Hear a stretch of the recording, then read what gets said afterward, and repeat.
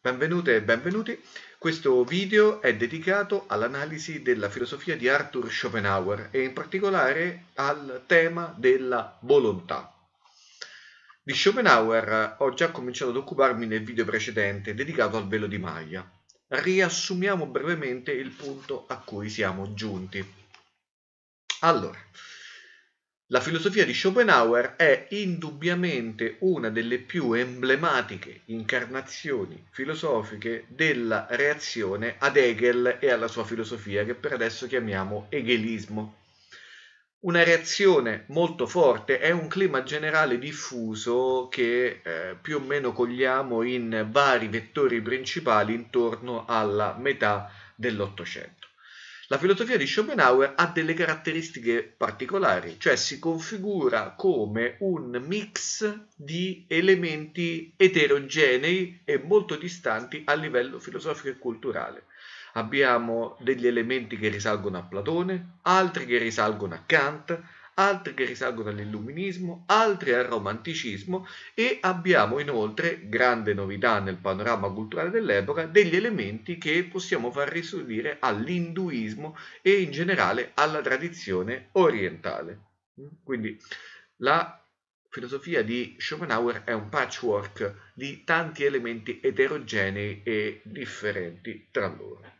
L'opera principale di cui noi ci occupiamo è quella intitolata Il mondo come volontà e rappresentazione, la prima edizione del 1818. Allora, secondo quest'opera, al modo in cui l'abbiamo analizzata nel video precedente, il mondo è per Schopenhauer un insieme di fenomeni, fenomeni in senso kantiano, cioè ovvero sia un insieme di apparenze, cioè ciò che risale a un sistema percettivo prettamente umano. Queste apparenze però sebbene abbiano degli echi kantiani molto forti, sono anche qualcosa di differente, sì, perché le apparenze sono per Schopenhauer delle illusioni, degli inganni. Il mondo, così come noi lo percepiamo, è un inganno, è un'illusione. Per indicare il carattere illusorio del mondo, così come noi lo percepiamo, Schopenhauer usa l'espressione velo di Maya, presa dai Veda, questa espressione, cioè dai testi sacri indiani, indica appunto il carattere illusorio, il carattere ingannatore del mondo così come noi lo percepiamo. È un'illusione, è un inganno che copre, proprio come il velo di Maya, la realtà vera, le cose come stanno realmente, ovvero sia il numeno, ritorniamo sempre al termine kantiano. Ora, Schopenhauer, per indicare il carattere illusorio della nostra percezione della realtà utilizza un termine filosofico molto specifico su cui voglio fermarmi un attimo in questo riassunto, ovvero sia il termine è rappresentazione. Lo troviamo già nel titolo, infatti è il mondo come volontà e rappresentazione. Allora, questo termine filosofico specifico utilizzato da Schopenhauer indica il carattere illusorio della nostra percezione della realtà. Il termine in tedesco è Vorstellung, Vorstellung, ovvero sia letteralmente un qualcosa che è posto, che è presentato, che sta di fronte a noi. Mm? La rappresentazione, c'è un eco in italiano di questo significato, no? La rappresentazione è un qualcosa che è presente, che è presentato, che sta di fronte a noi. Mm? Allora, la rappresentazione letteralmente è, in questo senso, ciò che ci è posto dinanzi, ciò che ci è posto di fronte. Potremmo intendere la rappresentazione, nel suo carattere illusorio, come ci dice Schopenhauer, come una sorta di telo che ci è posto di fronte agli occhi e su cui vengono proiettate delle immagini, delle illusioni, delle apparenze. Ricorda un po' il cinema, il modo che vi sto proponendo di intendere la rappresentazione. No? Quando io mi siedo al cinema ho di fronte uno schermo e su questo schermo vengono proiettate delle immagini, dei colori. È realmente presente di fronte a me quello che io penso che sia di fronte a me? No, non è realmente presente, è un'illusione, è un'apparenza, è un inganno. No? E in questo senso io ho di fronte a me una rappresentazione cinematografica. Ecco, il cinema secondo me rende bene il senso di ciò che Schopenhauer intende con rappresentazione. Quindi il mondo è una mia rappresentazione, il mondo è un qualcosa che illusoriamente mi è proiettato di fronte. Ora, questa proiezione, cioè questa rappresentazione del mondo, avviene secondo dei parametri. Questi parametri hanno il compito di dare credibilità a questa rappresentazione, così come quando io mi siedo al cinema il film è coinvolgente e ha un buon risultato, se io, per così dire, mi immedesimo e perdo la cognizione che si tratta di un'illusione, si tratta di un inganno quello che ho di fronte, allo stesso modo il mondo come mia rappresentazione funziona meglio se è credibile, se io mi immedesimo. Ora, questa credibilità avviene secondo dei parametri di questa proiezione. Questi parametri sono ovvero sia le forme a priori. Le forme a priori sono i parametri di questa proiezione, di questa rappresentazione e sono, secondo Schopenhauer, lo spazio, il tempo e la causalità. Lo spazio, il tempo e la causalità sono i parametri della mia rappresentazione che danno coerenza a questa rappresentazione. Quando io percepisco il mondo che ho di fronte, mi aspetto che un oggetto che vedo a 5 metri di distanza, muovendosi a una certa velocità, arriverà prima a 4 metri, poi a 3 metri, poi a 2 metri. Mi seguite? Allora, quell'avvicinamento è una, per così dire, coerenza interna di una rappresentazione che è in movimento. Se vedessi che quell'oggetto che è a 5 metri di punto in bianco mi riappare a un metro, senza aver avuto dei passaggi intermedi, a quel punto potrei essere stupito e potrei dire com'è possibile che è successa questa cosa? Ok, quindi vuol dire che la rappresentazione del mondo così come avviene ha dei parametri di coerenza che sono spazio, tempo e causalità. Quindi, riassumendo e concludendo il riassunto, il mondo è una mia rappresentazione è una mia illusione, è una parvenza, è un inganno. Questo inganno esiste veramente? Sì, esiste veramente, ma nella mia mente, dentro di me. Non esiste realmente ciò che io chiamo mondo, ma esiste piuttosto una mia rappresentazione di ciò che io intendo che sia il mondo. Quindi è molto importante che noi prendiamo questo concetto di mondo come illusione e lo collochiamo in quella che forse impropriamente possiamo chiamare una zona detta mente. Va bene? La mia rappresentazione è una mia illusione, non è detto che esista veramente ciò di cui io mi sto illudendo. Va bene? Allora, siamo arrivati a questo punto. Bisogna porsi adesso un'altra domanda invece, che è la domanda che muoverà le riflessioni di questo video, cioè ovvero sia, è possibile squarciare il velo di Maya? È possibile andare al di là di questa illusione? È possibile trovare il passaggio segreto, proprio così si esprime Schopenhauer, il passaggio segreto che ci possa condurre alla realtà vera, ovvero sia al numero? Possiamo passare dal fenomeno al numero? Secondo Schopenhauer, sì, è possibile, esiste un passaggio segreto. Come possiamo cogliere questo passaggio segreto? Allora, seguitemi nel ragionamento, è molto interessante quello che ci dice Schopenhauer a questo proposito. Allora, Se noi fossimo, se noi umani, ognuno di noi, fossimo semplicemente rappresentazione, non ci sarebbe per noi alcuna possibilità di fuoriuscire dal regime della rappresentazione. Cioè se noi fossimo indissolubilmente legati all'orizzonte della rappresentazione, non potremmo ovviamente in nessun modo uscirne fuori. Ma noi non siamo solo rappresentazione, noi siamo anche corpo.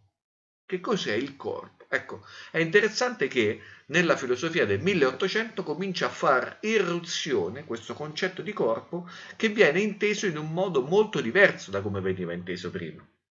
Sì, perché se prima il corpo era semplicemente un elemento materiale che si accompagnava a un elemento spirituale, era per così dire il materiale, la carne, la, la, struttura fisica di cui eravamo fatti. Adesso invece il corpo con Schopenhauer diventa qualcosa di nuovo.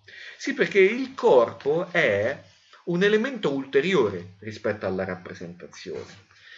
Noi infatti, dice Schopenhauer, come corpo ci viviamo da dentro. Che significa che ci viviamo da dentro? Significa che a volte nella nostra vita eh, per così dire, noi possiamo attraverso il nostro corpo avere una sorta di esperienza di base, un'esperienza originaria.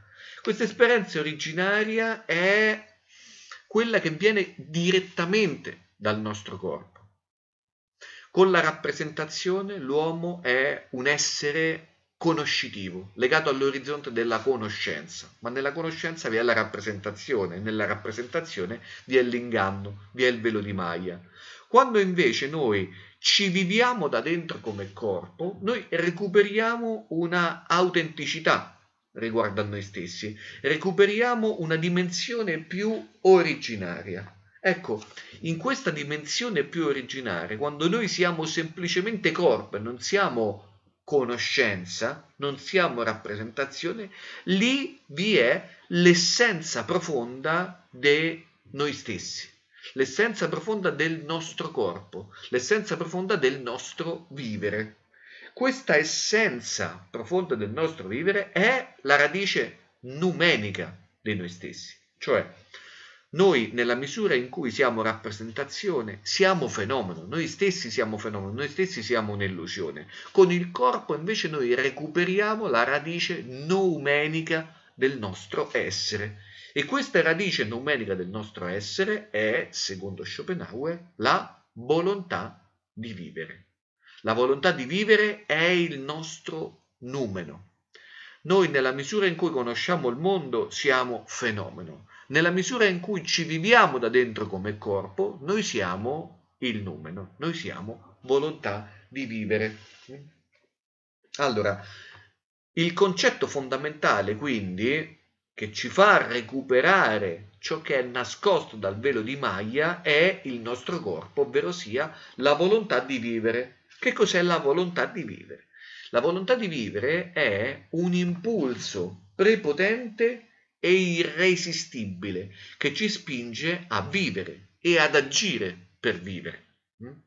Potremmo dire che è una sorta di energia, è una sorta di tendenza, è un impulso cieco, originario, molto profondo, autentico che ci spinge a vivere, ci spinge a sopravvivere. Mm? Il termine esatto che usa Schopenhauer per indicare la volontà, in questo senso, è Wille zum Leben. Wille, volontà, zum, di, per, Leben, vivere. Quindi la volontà di vivere è il fenomeno originario che costituisce l'essenza noumenica del nostro corpo. È ciò che sta sotto il fenomeno, è ciò che sta sotto la rappresentazione.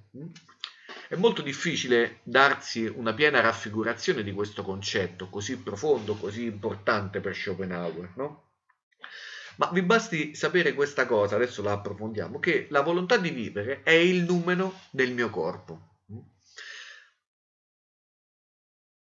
Pensate questo, pensate magari se, se, se riduciamo la nostra esistenza a un'esistenza incentrata sulla conoscenza, sulla scienza, sul comprendere le dinamiche profonde del mondo, mm, noi mettiamo che ci riduciamo a scienziati.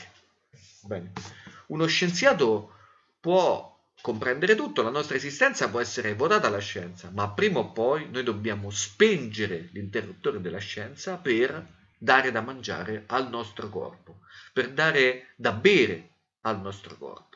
Cioè è come se a un certo punto il nostro corpo, per quanto noi possiamo essere perduti nei meandri della conoscenza, ci prende e ci richiama a terra, ci richiama a un terreno più originario. È il terreno eh, che si esprime attraverso i nostri bisogni materiali, il mangiare, il bere, il fare una passeggiata. Allora, questi elementi sono elementi per Schopenhauer più originari della rappresentazione, sono ciò che ci richiama alla nostra autenticità, ciò che ci richiama alla nostra originalità, ciò che ci richiama alla nostra radice numenica, il corpo, la volontà di vivere. La volontà di vivere nient'altro è questa energia che ci impone di prendere cura di noi stessi e del nostro corpo e di non farlo morire semplicemente. È un'energia molto profonda. Questa energia, questa volontà di vivere, non determina solamente noi e quindi ognuno di noi, ma determina, per così dire, tutto il mondo intorno a noi. Questo forse è il passaggio più complicato. La volontà di vivere non è solo l'essenza o radice numenica del nostro corpo, ma è l'essenza o radice numenica dell'intero universo, cioè del mondo cominciamo adesso a comprendere ancora più a fondo il titolo dell'opera fondamentale di Schopenhauer di cui ci stiamo occupando, cioè il mondo come volontà e rappresentazione.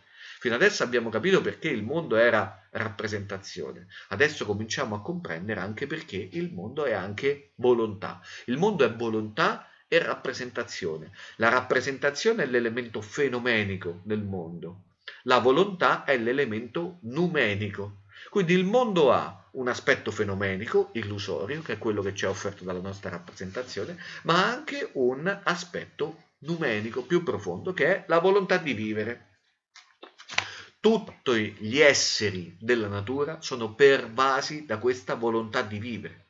Non c'è un essere vivente che non sia animato da questa energia profonda che gli, gli domanda semplicemente di sopravvivere e di continuare a sopravvivere tutti gli esseri della natura, ma non solo, dice Schopenhauer, anche gli elementi inorganici, quindi non viventi della natura, sono ugualmente animati da questa volontà di vivere. La volontà di vivere, ovvero è un'energia che pervade tutto e pervade tutto ciò che è vivo e tutto ciò che non è vivo. L'universo stesso nella sua interezza è pervaso da questa volontà di vivere. Di conseguenza la volontà di vivere non è solo l'essenza numenica del mio essere, del vostro essere, degli esseri di tutti gli esseri viventi, ma è l'essenza numenica dell'intero mondo, dell'intero universo, comprendente sia la materia organica vivente, sia la materia inorganica e quindi non vivente. È molto importante questo caso.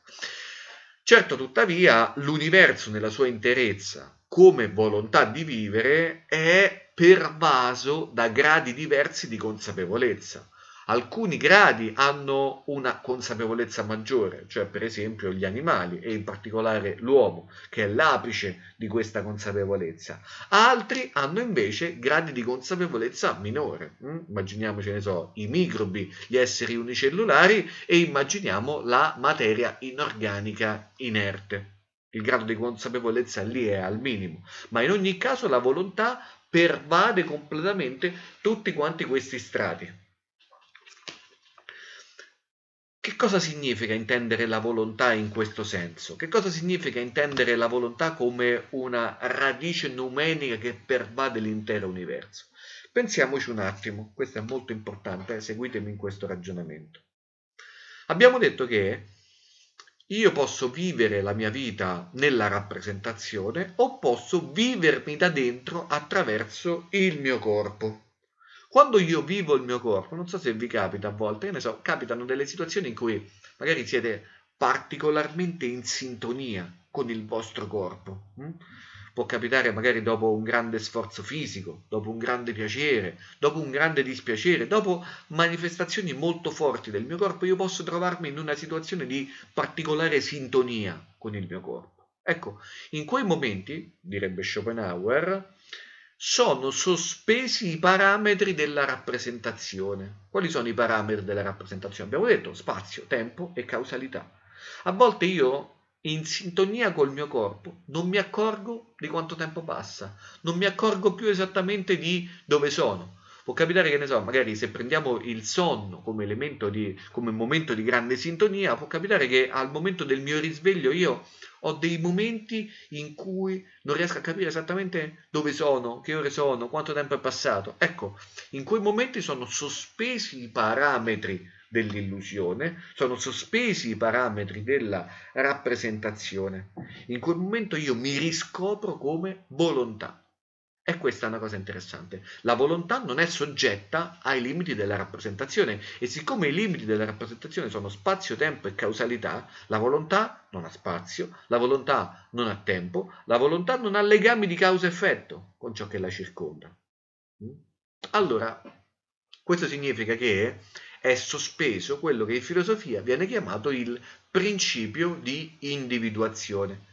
Che cos'è il principio di individuazione? È un principio molto antico nella filosofia, possiamo farlo risalire ad Aristotele. In realtà tutta la storia della filosofia è, è intessuta da riflessioni compiute dai più svariati filosofi su tale principio di individuazione.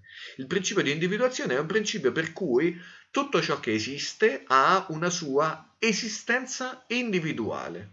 Ad esempio, io ho un'esistenza individuale che è diversa da quella di questo evidenziatore e che è diversa dalla vostra esistenza e dall'esistenza dello schermo che abbiamo di fronte. Mm? Questa differenza che noi dobbiamo dare per buona, secondo Schopenhauer, è una differenza che non compete alla volontà, è una differenza che risale semplicemente alla rappresentazione. Quindi vuol dire che il mondo, inteso noumenicamente, inteso come volontà, non ha delle differenze individuali. Tutti noi siamo volontà, non esiste nient'altro che la volontà. Per cui quando noi analizziamo il mondo come rappresentazione, analizziamo il mondo come composto da individui che sono i singoli fenomeni, quindi parliamo di fenomeni al plurale. Ma se analizziamo il mondo come volontà, parliamo in realtà di un unico mondo in cui non esistono individui, ma esiste semplicemente la volontà. Quindi vi è solo la volontà. Di conseguenza noi parliamo di numero al singolare. Mi seguite? Nel mondo della rappresentazione vige il principio di individuazione, quindi vige la pluralità tra ciò che esiste. Nel mondo noumenico, invece, vige solamente l'unicità della volontà non esiste nient'altro che questa. Mm. So che può sembrare strano da comprendere questa cosa, e in effetti nella volontà di Schopenhauer risuonano ad esempio le riflessioni tipiche di Parmende sull'essere nella filosofia antica. Ecco, forse questo è un altro collegamento ancora di Schopenhauer con la filosofia antica. Ricordate Parmende che parlava di questo mondo dell'essere che era unico, in cui non esistevano gli individui, esisteva semplicemente un universo completamente permeato dall'essere non c'era nient'altro oltre questo essere. Vabbè, insomma, al di là di Parmente, quali sono i caratteri della volontà secondo Schopenhauer? Allora, i caratteri della volontà sono i seguenti, molto semplici. La volontà è inconscia, questo è molto importante. Quando noi utilizziamo il termine volontà, siamo spesso portati a intendere la volontà come se fosse una volontà di una persona, di un qualcuno, di una coscienza. Non è così. La volontà non va intesa come una sorta di super persona, super Dio che sta da qualche parte e che volontariamente e consciamente prende delle decisioni. No, la volontà è completamente inconscia, è un'energia o impulso primordiale che è del tutto cieco da questo punto di vista. La volontà è unica perché è al di là del principio di individuazione, quindi non c'è una molteplicità, ok? Non c'è qualcos'altro rispetto alla volontà, c'è solo la volontà. Noi siamo parte integrante di questa volontà che è tutto ciò che esiste. La volontà è eterna, è indistruttibile e la volontà è una forza libera e cieca. Che significa? Significa che in quanto energia incausata, cioè non prodotta da nulla, agisce senza un perché e senza uno scopo. Non ha alcuna meta oltre se stessa. Pensateci a questa cosa. Schopenhauer lo dice, io posso chiedere a un individuo perché voglia questo o quello, ma non posso chiedergli perché voglia qualcosa in generale. Vedete? Nel nostro corpo si annidano delle voglie. Le voglie di volta in volta si ancorano agli elementi, al voluto, a ciò che noi vogliamo, a ciò che desideriamo. Ma quella voglia che è a monte di una meta, che è a monte di una destinazione, quella volere, quella volontà, quella voglia di volere, per così dire, da che cosa è causata? È incausata, è ingenerata, è un qualcosa di eterno, indistruttibile, è l'energia profonda che anima il nostro corpo. Da questo punto di vista la volontà di vivere non ha altra meta oltre se stessa Che cosa vuole la vita? Lo siete mai chiesto? La vita vuole se stessa, non vuole nient'altro, secondo Schopenhauer, perché la volontà è volontà di vivere. Hm? Le mete di volta in volta sono mete momentanee, mete, cause, mete, mete che possono essere tranquillamente sostituite. Da questo orizzonte di Schopenhauer ovviamente è del tutto escluso Dio, non ha senso parlare di Dio da questo punto di vista. L'unico assoluto, l'unico elemento realmente eterno è la volontà e noi siamo parte integrante di questa volontà, al di là delle rappresentazioni e delle illusioni.